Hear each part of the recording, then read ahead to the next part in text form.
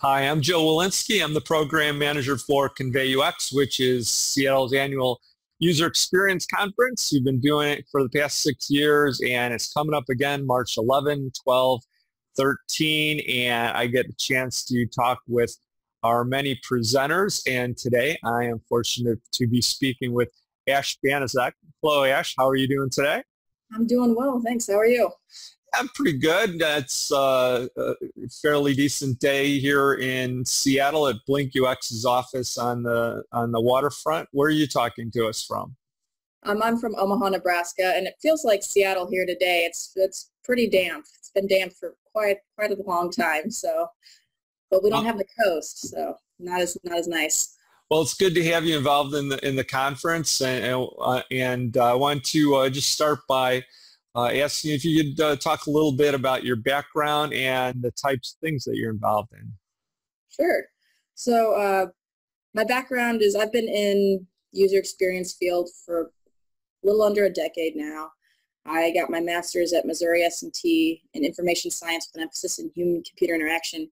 And really in industry, I've done a wide variety of projects within Union Pacific Railroad. So I've kind of built my career around the railroad. Um, one of the interesting things about UP is we have a matrix style of project management. So with my group, we basically act as internal consultants or like a UX SWAT team that kind of comes in, gets on projects, um, sees that project through, and then goes on to different other projects. So I've worked in legal, I've worked in HR, I've worked in engineering, operations, uh, crew dispatching, train dispatching, you name it. Pretty much I've been all over the railroad building stuff from mobile applications to uh, client server apps, web applications, and then customized stuff for, for cranes and trains and that sort of thing. So I've got nice, nice background, a lot of different things at the railroad.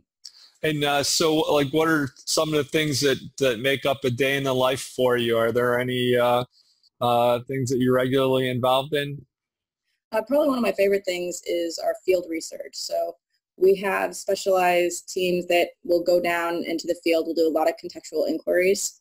And so the weeks that I get to do that, probably my favorite weeks, uh, my, my usual day-to-day involves a lot of iterative design, um, talking with our project teams, meeting with our graphic designer, meeting with my other uh, members of my team, and really iterating and breaking down each other's stuff and building it back up again. So that's kind of the exciting thing about my job is I get to work with the team, but I also get to be kind of uh, the leader on my own project. So.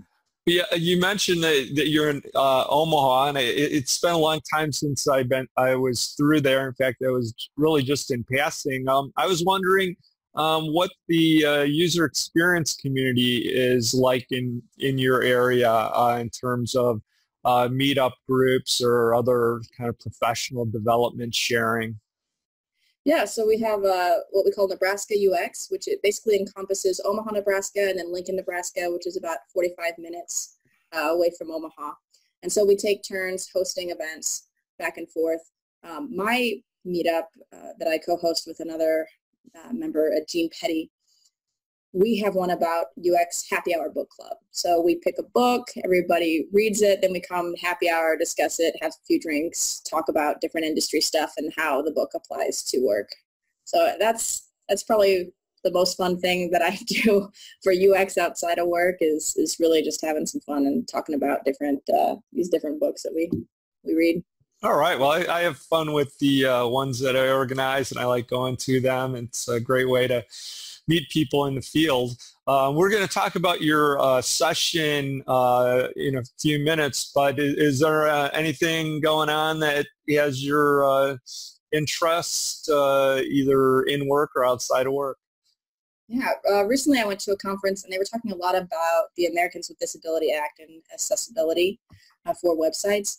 And that really got me thinking there's not a ton of emphasis that we have in Union Pacific. You know, we check the box, but we don't have specific guidelines and things in place to really help our development teams really access that community. So that's something that I've been working with our internal component library team to build systems that are even more easily accessible. And so that way our folks can, uh, is that you or me?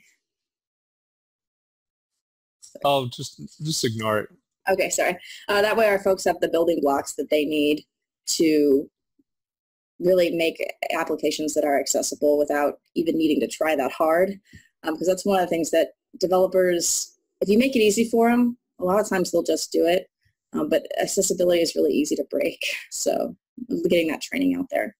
Yeah, well, I'm glad you're uh, getting getting involved in that. That's something that uh, I'm actively involved in. I manage, uh, help core organize the Seattle uh, accessibility meetup, and uh, it, there are a lot of gaps in it, and uh, you know a lot of it ends up being dealt with on the compliance level. But really, the biggest changes are when people in the research and design uh, aspects of our profession can build that into the specification so that it it just becomes part of the overall process. Okay.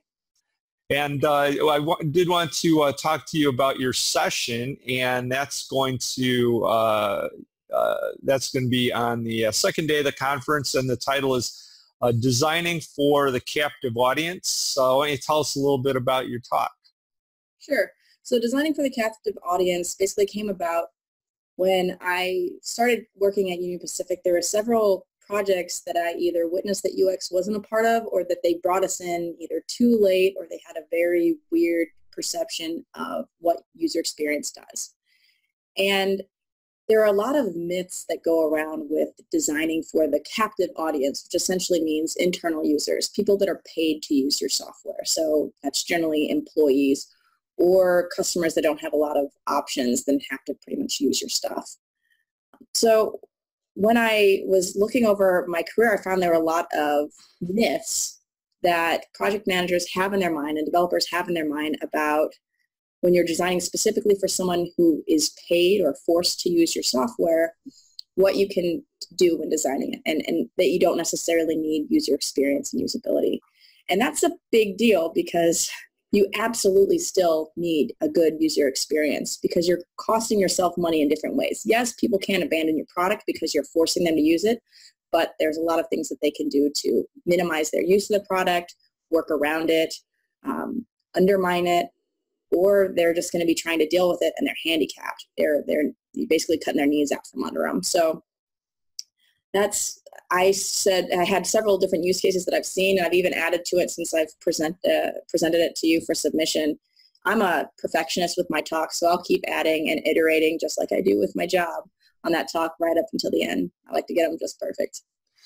Well, I, I wanted to ask you a question about your uh, your work with the uh, railroad. Um, I think that's kind of an interesting area that I don't really have much knowledge about in terms of how UX is applied there. Is there anything that um, you find to be uh, uniquely challenging about that particularly particular industry, or is it uh, still a lot of the, the same techniques that uh, might be used in other industries?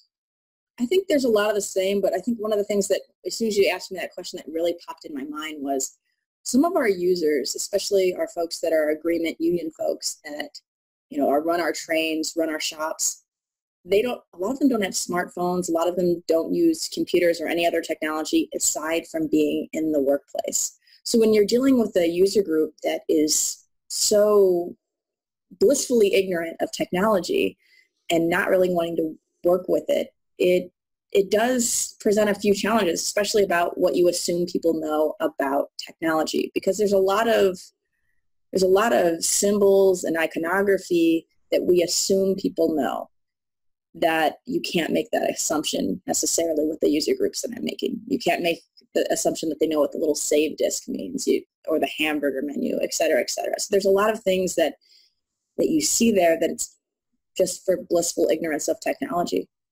Yeah, well, uh, I can certainly understand that, and uh, thanks for that observation. Uh, I appreciate you uh, taking the time to talk with me uh, for this little preview, and we'll look forward to seeing you in Seattle in March.